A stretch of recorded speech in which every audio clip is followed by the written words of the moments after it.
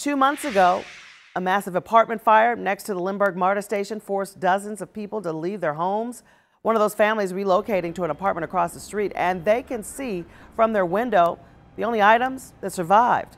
But to get them back, they needed Better Call Harry. Breaking at 4. Flames pouring from the roof of an Atlanta apartment complex.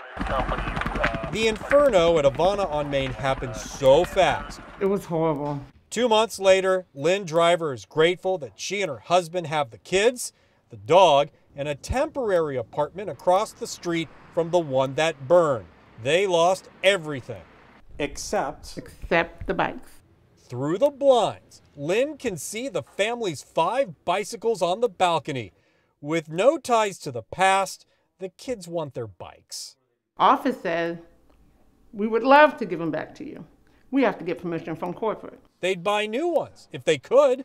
Can't find them anywhere. It's a little depressing.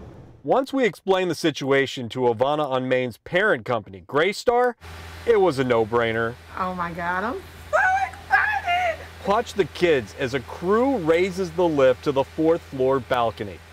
They got the bikes. If it wasn't for you guys, my bike would still be over there on the deck. It, no doubt in my mind.